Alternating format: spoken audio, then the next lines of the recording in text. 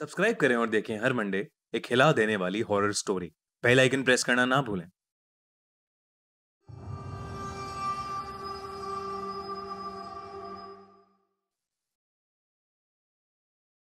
वैसे तो जब लोग प्यार के बारे में सोचते हैं तो उनके दिमाग में कुछ हसीन सी यादें आ जाती हैं। लेकिन कभी कभी प्यार में कुछ ऐसा होता है, जिससे लोगों की रूह काँप जाती है। ऐसा ही कुछ हुआ क्रिस और अमांडा के साथ। वो लोग इस बार वैलेंटाइंस डे मनाने के लिए अपनी गाड़ी में बैठकर एक रोमांटिक टूरिस्ट स्पॉट पर जा रहे थे। रास्ते में उन्हें वर्मोंट के एक ब्रिज से होकर गुजरना था, जिसका नाम था एमिली ब्रिज। रात का समय था और क्रिस गाड़ी चला रहा था। तभी उसने देखा कि रास्ते में एक लड़की अपना सर नीचे करके बैठी हुई थी। क्रिस ने दूर से ही उसे देख लिया और गाड़ी रोक दी। लेकिन जब उसने नीचे उतर कर देखा तो वहाँ पर कोई नहीं था। उसने सोचा कि शायद ये उसका वहम होगा। तो उसने गाड़ी में बैठकर अमांडा से पूछा, तुमने उस लड़की को देखा क्या? अब पता नहीं कहाँ चली गई। तभी उसके एकदम पास से एक बहुत खौफनाक आवाज़ आई। कौन सी लड़की? तुम किस लड़की से मिलने गए थे? क्रिस ने जैसे ही अपने बगल में देखा, उसने पाया कि उसकी वाइफ की जगह एक बहुत भयानक चेहरे वाली एक लड़की बैठी थी। उसकी गर्दन पूरी मुड़ी हुई थी और उसके हाथ पाँव इस तरह से आपस में क्रम्बल्ड थे जैसे वो टूट गए हों। उसके एक तरफ़ का चेहरा भी छिला हुआ था और उस तरफ़ की आँख भी फूटी हुई थी। उस लड़की ने क्रिस से पूछा तुम मुझसे मिलने क्यों नहीं आए उस दिन? किससे मिलने गए थे? कौन सी लड़की की बात कर रहे हो? क्रिस उसे देखकर बहुत डर गया। वो अपनी गाड़ी से उतरा। लेकिन अचानक उसका पैर फिसला और वो गाड़ी के दरवाजे से टक्कर खाकर नीचे गिर गया। अगले दिन क्रिस की आँखें हॉस्पिटल में खुली। उसके शरीर पर बहुत से स्क्रैचेस के निशान थे। अमांडा उसके पास ही बैठी हुई थी। जब क्रिस ने अमांडा से पूछा कि पिछली रात क्या हुआ था तो अमांडा ने बताया कि क्रिस उसके बगल में बैठकर कुछ अजीबो गरीब हरकतें करने लगा। वहाँ पर खड़ी नर्स बड़े ध्यान से क्रिस को देख रही थी। उसने पूछा, क्या आप एमिली ब्रिज से होकर जा रहे थे? अमांडा ने अपना सर हाँ में हिलाया। तब उस नर्स ने उन्हें बताया कि वो ब्रिज हॉन्टेड है। और रात के समय वहाँ पर कोई नहीं जाता। कहा जाता है कि काफ़ी समय पहले, एमिली नाम की एक लड़की एक लड़के से बहुत प्यार करती थी, लेकिन उसके परिवार वाले उसके रिश्ते के लिए राज़ी नहीं हो रहे थे। इसलिए एमिली ने अपने आशिक से कहा कि वो उस ब्रिज पर जाकर वहाँ से कूद कर अपनी जान दे देंगे और अपने प्यार को अमर कर लेंगे। लेकिन जब एमिली वहाँ पहुँची, तब उसका आशिक वहाँ नहीं था। उसने घंटों उसका इंतज़ार किया। लेकिन उसका आशिक उससे मिलने ही नहीं आया। इस गम में एमिली ने अकेले ही उस ब्रिज से कूदकर आत्महत्या कर ली। उसकी लाश किसी को नहीं मिली। कहते हैं कि वो उसी नदी में कहीं डूबी हुई है। उस दिन के बाद से रात में गुजरने वाले हर इंसान से वो मिलती है और उससे एक सवाल पूछती है। किससे मिलने जा रहे हो? मुझसे मिलने क्यों नहीं आए? क्रिस और अमांडा ये कहानी सुनकर बेहद घबरा गए। नर्स ने अमांडा से कहा कि वो क्रिस को आराम करने दे। क्रिस ने अमांडा को प्यार से कहा कि एक बार मैं ठीक हो जाऊँ तो हम फिर से अपना वैलेंटाइन सेलिब्रेट करेंगे। अमांडा ने क्रिस को मुस्कुराते हुए देखा और वहाँ से चली गई। तभी क्रिस का ध्यान ऊपर पंखे पर गया। वहाँ पर उसे एमिली की आत्मा दिखाई दी। उसने अपनी भयानक आवाज़ में क्रिस से पूछा, किससे मिलने जा रहे हो? मुझसे मिलने क्यों नहीं आए? ये कहानी सुनैना नाम की एक लड़की की है। कुछ ही दिन पहले सुनैना का ब्रेकअप हुआ था। और तब से वो थोड़ी चुप चुप सी हो गई थी। सुनैना का सारा फोकस अपने काम पर था और इसीलिए वो देर रातों तक ऑफ़िस में काम करती रहती थी। वैलेंटाइंस डे पास आ रहा था और उसकी सारी फ्रेंड्स अपने बॉयफ्रेंड्स के साथ गोवा जाने वाले थे। पर सुनैना ने काम का बहाना करके उनको मना कर दिया। सुनैना थोड़ी उदास थी कि इस वैलेंटाइंस डे उसके पास कोई नहीं होगा। वैलेंटाइंस डे पर सुनैना ऑफ़िस में ही काम कर रही थी। जब वो काम करते करते थक गई, तब वो ऑफ़िस के नीचे एक कॉफ़ी शॉप में जाके बैठ गई। वहाँ उसे उसके एक्स बॉयफ्रेंड जैसा दिखने वाला एक आदमी दिखा, जिसके साथ उसने बातें करनी शुरू कर दी। बातें करते करते सुनैना को वो लड़का पसंद आने लगा। और दोनों ने क्लब में जाने का प्लान किया। सुनैना ने रात भर उस लड़के के साथ खूब डांस किया और वो बहुत दिनों बाद काफ़ी खुश महसूस कर रही थी। उस लड़के ने जब सुनैना से उसके घर चलने के लिए कहा तो सुनैना ने हाँ कर दिया। सुनैना जब उस लड़के के घर पहुँची तो वो थोड़ी ड्रंक थी पर उससे साफ़ साफ़ समझ आ रहा था कि वो घर थोड़ा अजीब है। उस घर में अजीब सी महक थी जिससे सुनैना का दम घुट रहा था। फिर भी सुनैना उस लड़के पर भरोसा करके उसके साथ बेडरूम में चली गई। जैसे ही उस लड़के ने सुनैना को गले लगाया, वैसे ही सुनैना को ऐसा लगा कि उस लड़के ने उसके नेक पर बहुत ज़ोर से काटा। सुनैना ने उसे तुरंत पीछे धक्का दिया और धक्का देते ही उसने देखा कि उस लड़के का चेहरा पूरी तरह से बदल चुका है। ऐसा लग रहा था कि मानो वो कोई भयानक मॉन्स्टर हो। सुनैना बुरी तरह घबरा गई। जो लड़का सुनैना की तरफ़ आगे बढ़ा और सुनैना डर के मारे बेहोश हो गई। अगले दिन जब वो उठी तो वहाँ कोई नहीं था। पूरे घर का नक्शा बदला हुआ था। वो घर धूल मिट्टी से भरा हुआ था और ऐसा लग रहा था कि जैसे उस घर में सालों से कोई नहीं है। वो तुरंत वहाँ से निकलकर अपनी एक फ्रेंड के घर चली गई। उस लड़के के बारे में मालूम करने पर सुनैना के होश उड़ गए। जब उसने कॉफ़ी शॉप ओनर से पूछा कि उस रात आपने मेरे साथ कोई लड़का देखा था? तो वो बोला कि नहीं, हमने किसी को नहीं देखा। इनफैक्ट हम तो ये सोच रहे थे कि सुनैना अकेले किसको देखकर बात कर रही है। सुनैना को ये बात सुनकर बहुत अजीब लगा। उसके बाद वो उसी क्लब में गई और क्लब मैनेजर से उसी लड़के के बारे में पूछा। तो क्लब मैनेजर ने उसे सीसीटीवी फुटेज दिखाई, जिसमें उसने देखा कि उस रात वो अकेले ही नाच रही थी।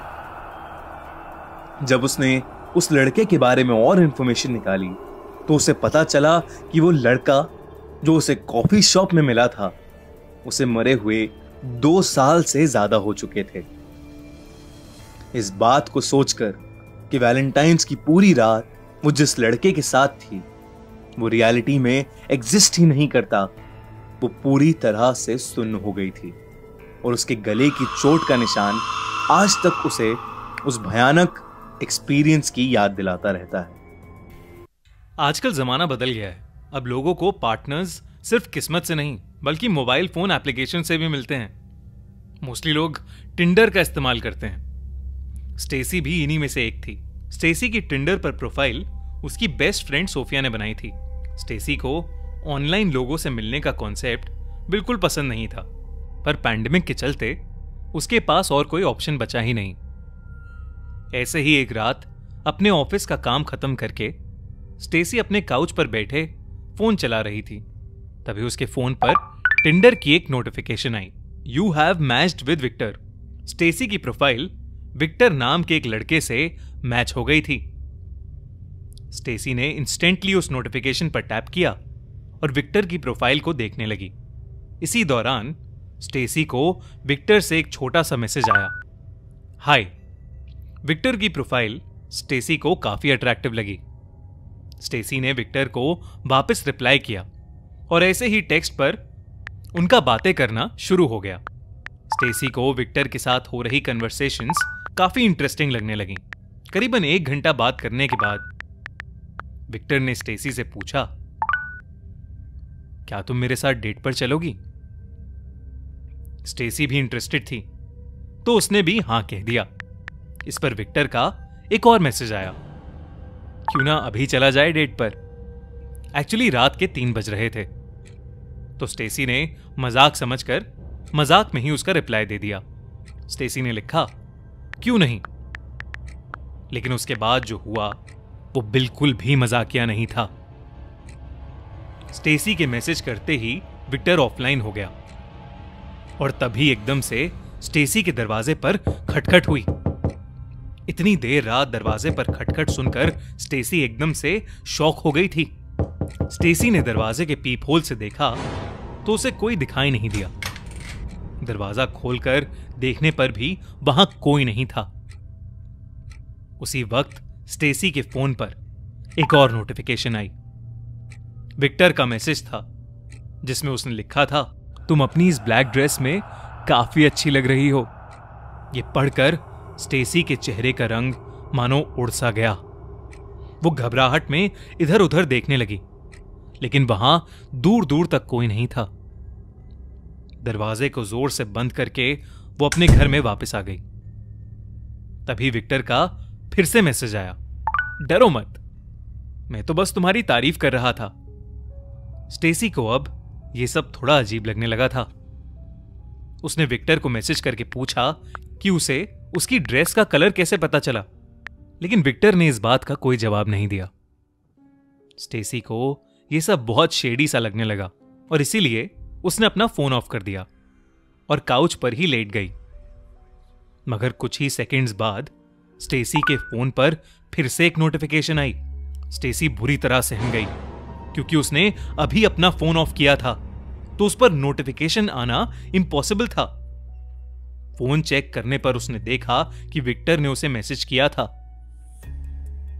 मैंने अभी सोने की परमिशन नहीं दी है तुम्हें। स्टेसी के पढ़ते ही स्टेसी के घर की बेल ज़ोर ज़ोर से बजने लगी। इतना ही नहीं, उसके घर की लाइट्स फ्लिकर होना शुरू हो गईं। स्टेसी अपने कान पर हाथ रखकर दरवाजे की तरफ़ जा रही थी, कि एकदम से सन्नाटा हो गया। और स्टेसी को फिर से एक मैसेज आया। मुझे लगता है कि शायद हम दोनों एक दूसरे के लिए बने हैं। विक्टर का यह मैसेज पढ़कर स्टेसी का घबराहट के मारे रोना निकल गया। और उसने विक्टर से पूछा कि आखिर विक्टर ऐसा क्यों कर रहा है? और वो आखिरकार है कौन? कुछ देर तक कोई रिप्लाई नहीं आया। लेकिन फिर एक मैसेज आया। मुझे लगता है कि मैं तुमसे प्यार करने लगा हूँ। क्या तुम भी मुझसे प्यार करती हो? ये सब पढ़कर स्टेसी की हालत और खराब हो रही थी। वो बस फ़ोन फेंक के रोने लगी कि तभी उसकी गर्दन पर उसे दो हाथ महसूस हुए, जो उसका गला दबा रहे थे। तभी स्टेसी का फ़ोन एक के बाद एक आने वाली नोटिफिकेशंस की साउंड से बजने लगा। विक्टर के मैसेजेस अभी भी आ रहे थे। बेबी बोलो ना कि तुम मुझसे प्यार करती हो। कोई काला साया अभी भी स्टेसी का गला ज़ोर से दबा रहा था और अब उसको सांस लेने में तकलीफ़ हो रही थी। स्टेसी की आँखों के आगे अंधेरा छाने लगा और बचने का शायद और कोई रास्ता ही नहीं बचा था। इसलिए स्टेसी ने अपनी घुटी हुई आवाज़ से कहा आई लव यू टू और अचानक उसकी गर्दन पर से वो दोनों हाथ उठ गए। विक्टर का मैसेज आया तुम अब मेरी हो हमेशा मेरी ही रहोगी। चलो अब जल्दी से जाकर तैयार हो जाओ हमें बाहर भी तो जाना है। विक्टर के फ़ोन पर आते मैसेजेस से स्टेसी की साँसें और तेज होने लगी थीं। उसे समझ में नहीं आ रहा था कि उसके साथ ये सब क्या हो रहा है। स्टेसी अब इतनी ज़्यादा सहम चुकी थी कि वो विक्टर की सारी बातें मानने लगी। विक्टर की विशेष को मना करने पर शायद उसकी जान को खतरा था, इसलिए वो विक्टर के कहने पर तैयार होने अंदर अपने रूम में चली गई और उसने तभी छुपके से टेक्स्ट मैसेज के थ्रू अपनी फ्रेंड सोफिया को सब कुछ बता दिया। जब स्टेसी अपने कपड़े चेंज कर रही थी तो विक्टर का फिर से एक मैसेज आया। उसमें लिखा था, बेबी, अपने सारे कपड़े उतारो ना। ये देखकर स्टेसी बहुत ज़्यादा डर गई।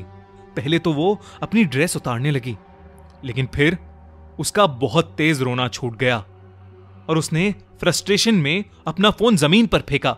उसका फ़ोन अब ज़मीन पर गिरकर टूट चुका था। स्टेसी बेहद डरी हुई सोफे पर बैठी। सोफी के आने का वेट करने लगी। करीबन पाँच मिनट के बाद ही स्टेसी की डोरबेल बजी। स्टेसी दौड़कर डोर पर गई। ये सोचकर कि डोर की अगली तरफ़ सोफिया होगी। पर डोर खोलने पर उसे फिर से कोई भी दिखाई नहीं दिया। स्टेसी और ज़्यादा सहम गई और तभी उसके टूटे फ़ोन के स्पीकर से एक आवाज़ आई।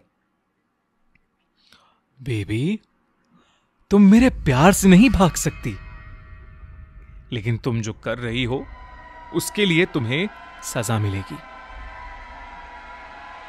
इतना कहने के बाद वो आवाज़ बंद हो गई। स्टेसी को बहुत डर लग रहा था कि तभी फिर से एक काला साया उसकी तरफ़ आया और उसका गला दबाने लगा। लेकिन उसी वक्त सोफिया भी उसके घर पहुँच गई थी। और वो घर के खुले दरवाजे से अंदर आ गई। उसने देखा कि स्टेसी खुद का गला दबा रही है। सोफिया जैसे ही उसके पास गई, स्टेसी वहीं बेहोश हो गई। सोफिया ने उसे पानी पिलाया और स्टेसी उसके गले लगकर रोने लगी। सोफिया के आने के बाद स्टेसी के साथ हो रही अजीब घटनाएँ बंद हो गई थीं। अगली सुबह स्टेसी ने पुलिस को अपने साथ हुई घटना सुनाई। जब पुलिस ने टिंडर के रिकॉर्ड चेक किए तो पुलिस को वहाँ स्टेसी के फ़ोन वाले विक्टर का कोई नामो निशान ही नहीं मिला।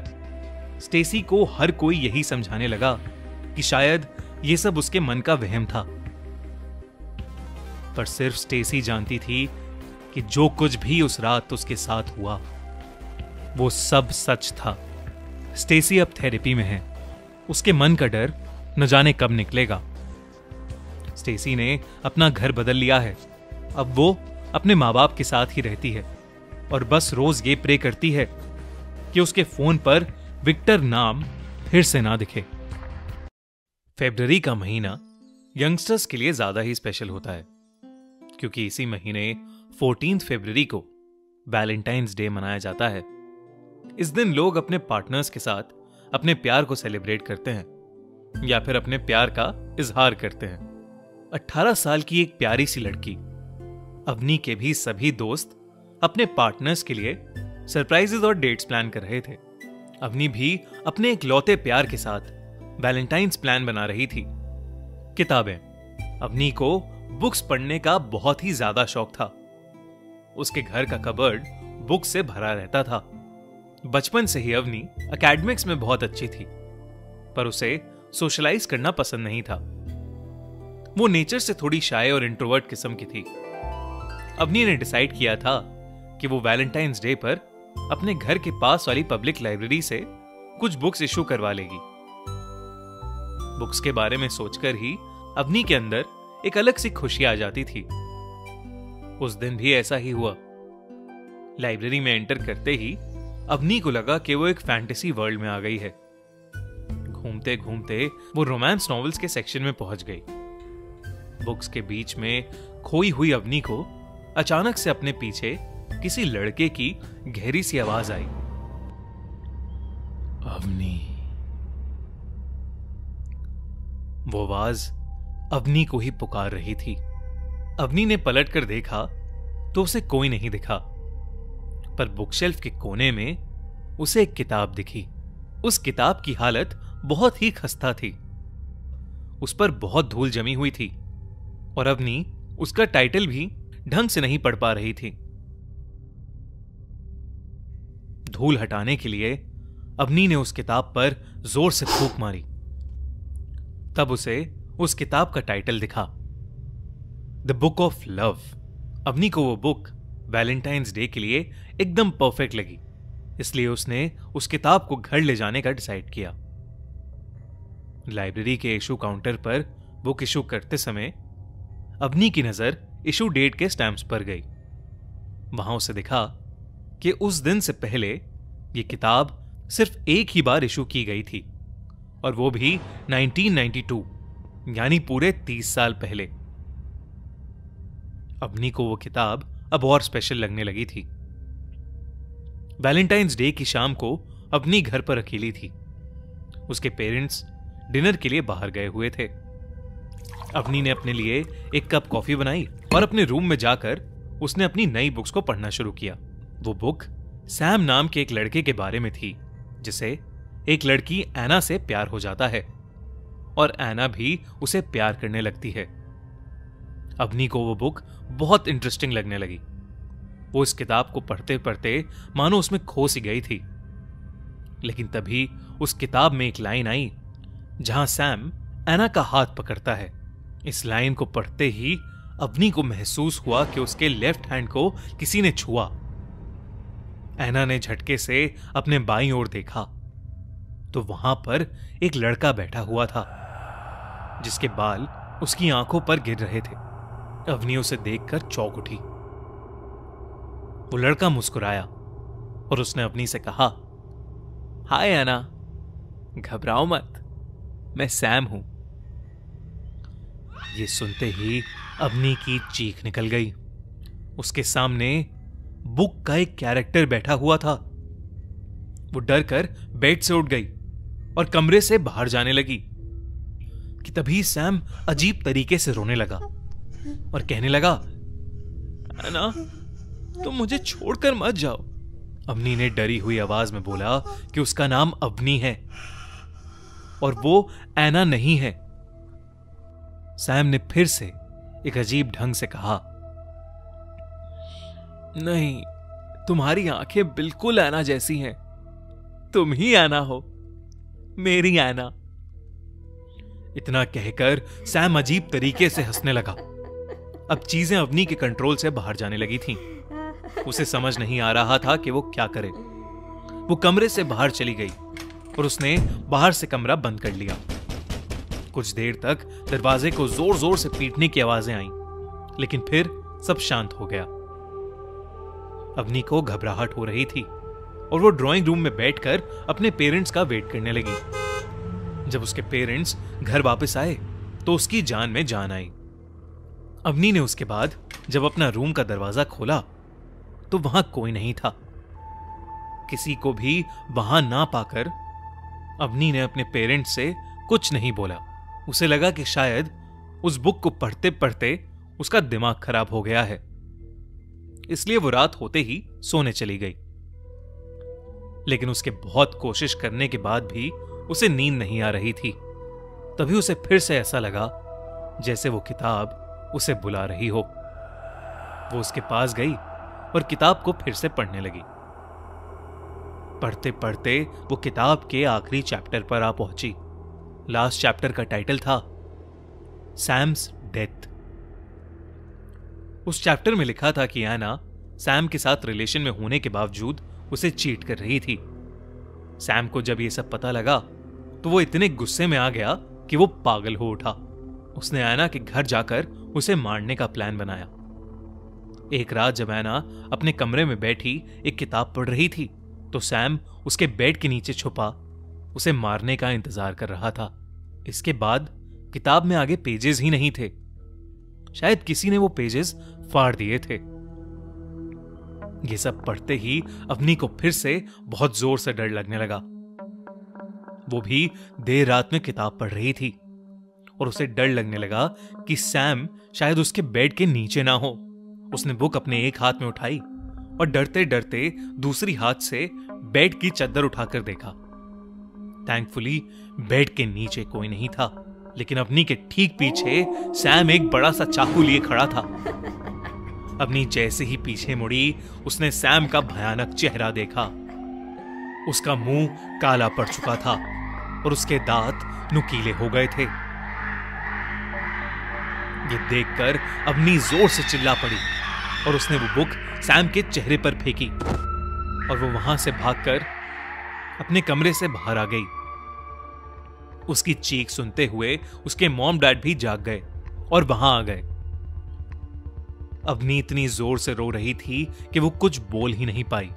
बस उसने अपने कमरे की तरफ़ इशारा किया। अवनी की मॉम उसके रूम में गई, लेकिन वहाँ कोई नहीं था। पर रूम में आते ही उनकी नज़र नीचे फर्श पर पड़ी, उस बुक पर गई और उनके पैरों तले ज़मीन खिसक गई। उस बुक के अंदर एक चाकू घुसा हुआ था और उस बुक में से खून निकल रहा था। अवनी के पेरेंट्स ने तुरंत पुलिस को इन्फॉर्म किया।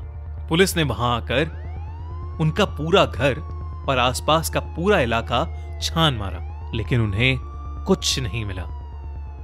उस बुक को उन्होंने अपनी कस्टडी में ले लिया और वहाँ से चले गए। उस दिन के बाद से अवनी को सैम फिर कभी नहीं दिखा।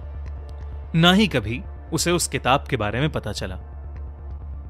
ये कहानी हमें खुद अवनी ने भेजी है। आप भी हमें अपने साथ हुई हॉरर स्टोरीज भेज सकते हैं खूनी stories at the rate gmail dot com पर। और हाँ, हमारा चैनल खूनी मंडे सब्सक्राइब करना मत भूलना।